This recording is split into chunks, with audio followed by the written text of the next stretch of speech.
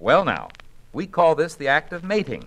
But there are several other very important differences between human beings and animals that you should know about.